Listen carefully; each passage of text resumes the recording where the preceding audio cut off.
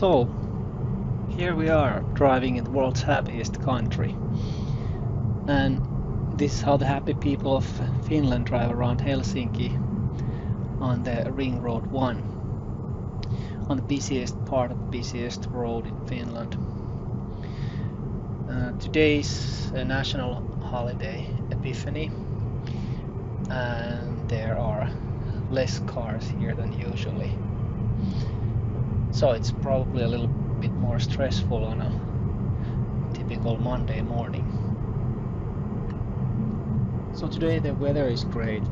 Uh, we don't get a lot of sunshine this time of the year because of the high latitude and the low clouds that we usually have in the winter. And the temperature is around minus 8 uh, centigrade, so that's 17 degrees Fahrenheit. So we have snow and ice on the road, uh, but driving here is not really all that hard with all the modern driving aids and uh, Nordic winter tires. And so it's pretty easy even with this um, light, powerful uh, rear drive car. So what should you be mindful of when driving here in the winter? Uh, first thing that comes to mind are the tires. Uh, you need to have Nordic winter tires, either studded or studless. And the tires should have the M plus S mud and snow and the three peak mountain with the snowflake symbol on them. With the studded tires you have to check that there are enough studs as well as at least 3 millimeters of tire tread left.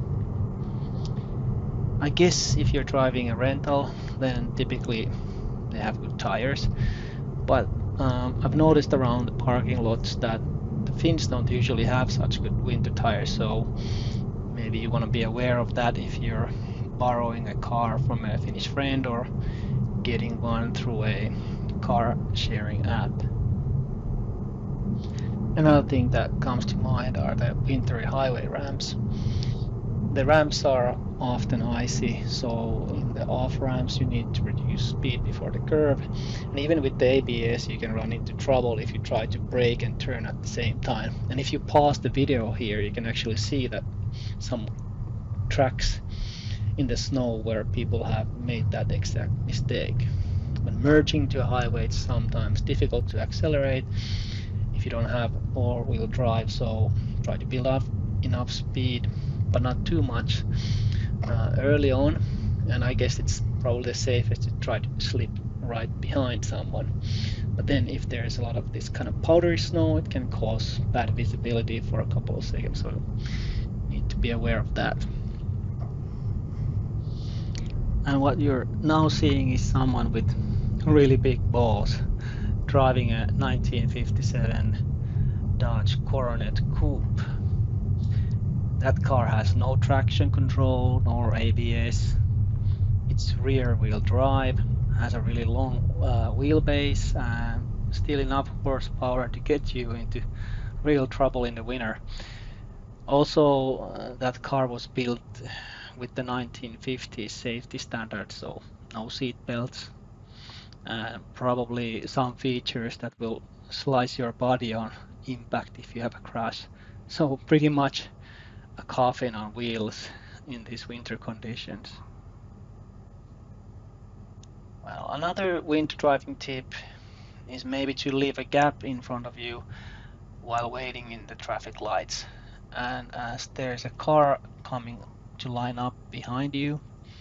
You can then close the gap and give the driver behind you some more space to stop their car. And maybe that way you can, can reduce the chance of someone rear-ending you at the traffic lights.